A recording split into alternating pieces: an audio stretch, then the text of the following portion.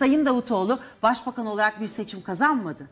Sayın Davutoğlu Cumhurbaşkanı tarafından başbakan olarak atandı. Saadet Partisi de oy oranına bakılsın. Demokrat Parti'ne ayrılalım, şey yapalım. Seçim mi kazandı? Ahmet Davutoğlu biliyorsunuz bir yayına katıldı. Gazeteci Mehmet Akif Ersoy'un yayınına katıldı ve orada e, kendisine bir soru yöneltildi. Size Cumhurbaşkanı e, seçtiğiniz kişi sizin oyunuz düşük derse ne olur gibi bir soru sordu. Kendisi kriz çıkar, meclis e, desteğini çeker ve seçime gideriz dedi.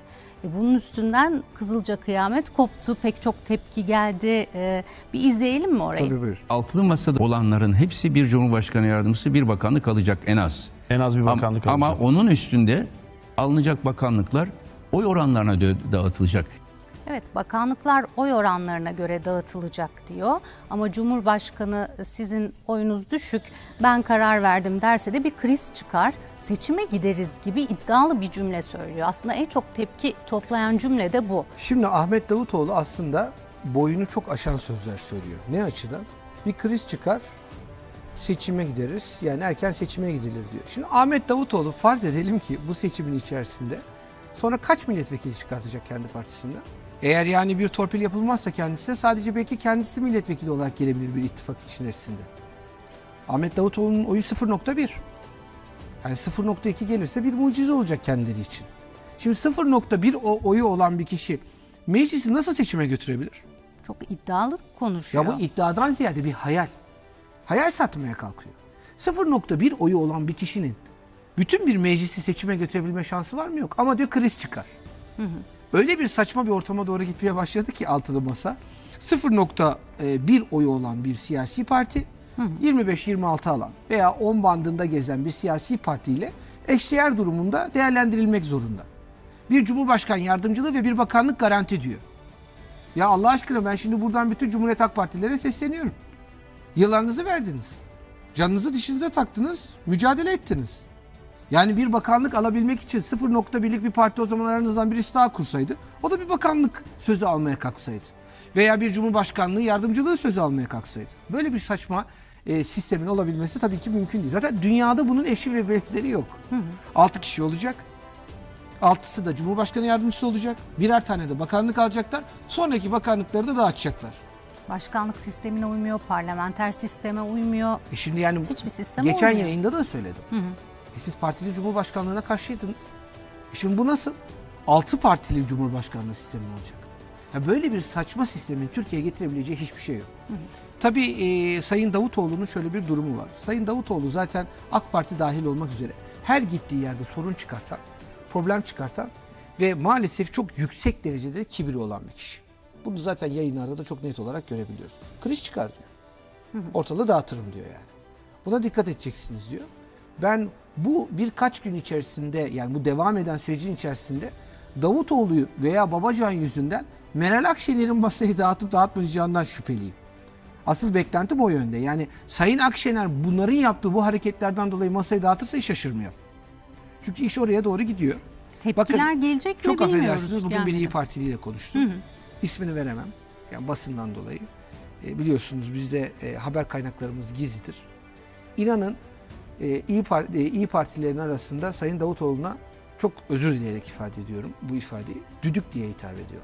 Düdük çıktı konuşuyor. Düdük çıktı bunu söylüyor. Düdük- neden? Sürekli bir ses çıkartır anlamında. Ya çok konuşuyor Gerçekten artık mı? İyi Partililerin de kendi içerisinde bir dalga konusu olmuş durumda. Sayın Ahmet Davutoğlu. Tabii ki ben bu ismi veremem buradan. Verdiğim zaman çok e, yanlış olur. Ama dediğim gibi yani onların içerisinde de böyle bir konuşma var. Ama iş nereye gidecek hep birlikte göreceğiz. Evet. Siz e, pek doğru bulmadınız bu çıkışı ama Sayın Kılıçdaroğlu e, bu çıkışını Sayın Davutoğlu'nun onaylamış. E, evet doğru demiş. E, bir kriz çıkar eğer e, diğer liderlerin de onayı alınmazsa, imza etkisi olmazsa. Bir izleyelim mi o dakikaları?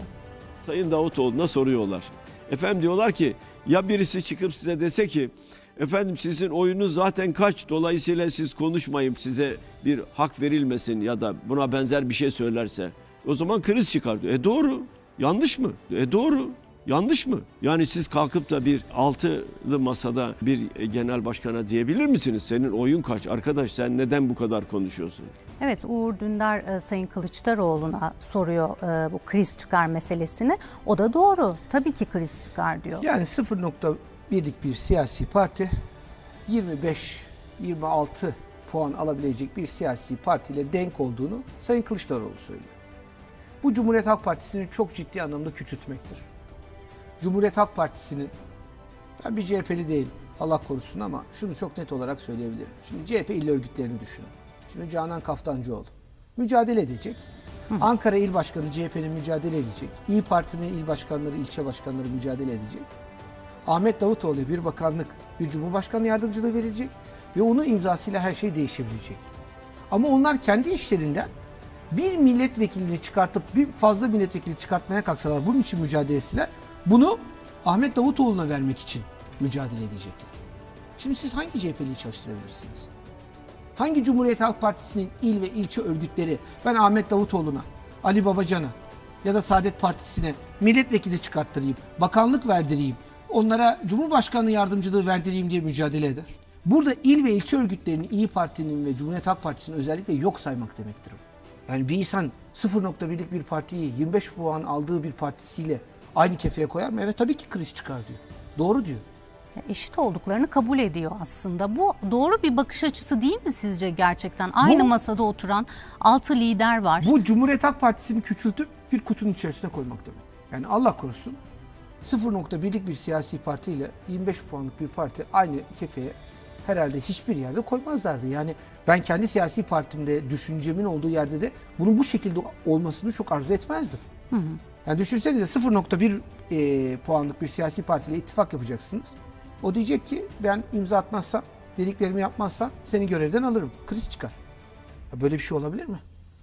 Bir cumhurbaşkanı %51 oy alacak, 50.1 oy alacak vatandaşlar. Gidecek 0.1'lik Ahmet Davutoğlu'nun himayesi altına girecek. Enteresan. Bunlar iyi bir ortam bulmuşlar vallahi. Peki Sayın Kılıçdaroğlu desteklerken biliyorsunuz gazeteci Şirin Payız'ından sert bir tepki geldi. Evet. Ahmet Davutoğlu'na sert bir çıkışta bulundu. İzleyelim o anları. Yüzde birlik oy olan bir parti lideri böyle konuşmaz diyor. İzleyelim. Davutoğlu'na böyle bir özgüven nereden geldi? Davutoğlu şu anda anketlerde yüzde bir. Yüzde birlik bir partinin genel başkanı olarak konuşmak durumunda. Ama anladığımız kadarıyla Sayın Davutoğlu hala kendisini AK Parti'nin içindeki başbakan sıfatıyla görerek konuşuyor. Oysa Sayın Davutoğlu'na şunu hatırlatmamız gerekiyor ki Sayın Davutoğlu başbakan olarak bir seçim kazanmadı.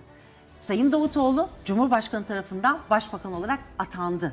Evet bir seçim kazanabilecek misiniz acaba diyor. Küçümsüyor bir Evet. taraftan aslında. Şirin Payiz'in de hayat boyu bir noktaya gelebileceğimiz, aynı noktaya geleceğimizi hiç düşünmezdim. Sadece burada bir farklılığımız var. O kendisi yüzde bir alacağını düşünüyor Davutoğlu. Ben 0.1 alacağını düşünüyorum. Ama onun dışında söylediklerin aslında hepsi doğru. Kendisi başbakanlıkta biliyorsunuz Sayın Cumhurbaşkanımızın kendisine verdiği destek de oraya atanmış bir kişiydi. Yani oraya geldi. O geldiği görevinden sonra da e, işte bakıyorsunuz şimdi geliyor. Bu tür konuşmalar yapıyor. Ama buna da kendi işlerinde de artık ses çıkmaya başladı. Evet.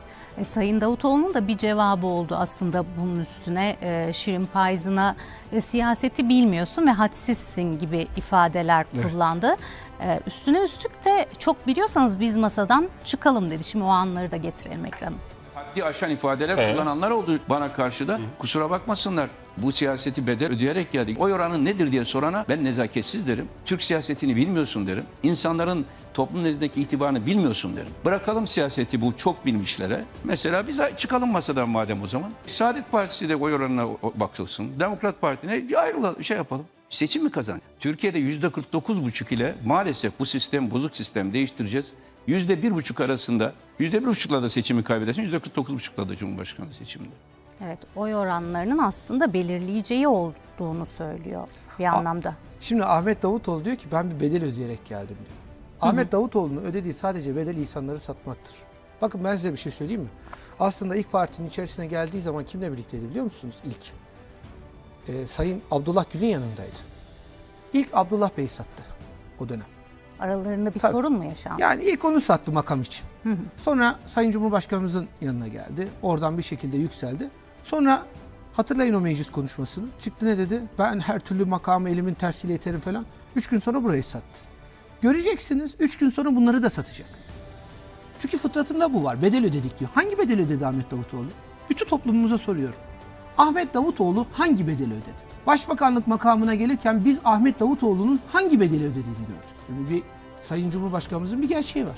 Cezaevine girdi, il başkanlığı dönemi, başbakanlık döneminde yaşadıkları.